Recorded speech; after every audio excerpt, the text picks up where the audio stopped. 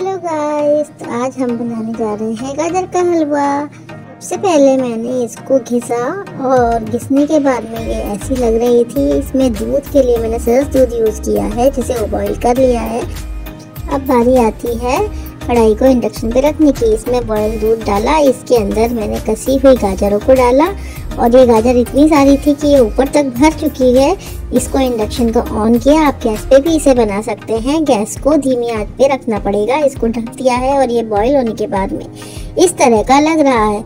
ये आधा पक चुका है, इसका कलर चेंज हो गया है, इसमें डाली सी थोड़ी सी शक्कर और इसको अच्छे से मिक्स किया। बाद में ये जब पक चुका है तो इसमें डाला हमने थोड़ा सा मावा।